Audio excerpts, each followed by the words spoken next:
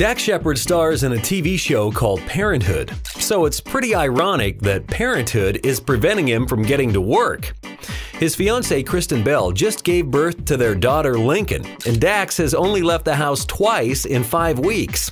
He hosted a Casa of Los Angeles Evening of Dreams gala in Beverly Hills, where he joked with the audience and thanked them for giving him an excuse to leave the confines of his home. He even says he'd be available the next night if they wanted to go round two. Dax's other crazy adventure post becoming a dad is when he reportedly went to Costco and spent four to five hours strolling around the aisles, buying in bulk. And after being stuck inside, the 38 year old says a trip to the store felt like a late night rager at a strip club. We're sure Kristen doesn't mind the mother daughter time alone.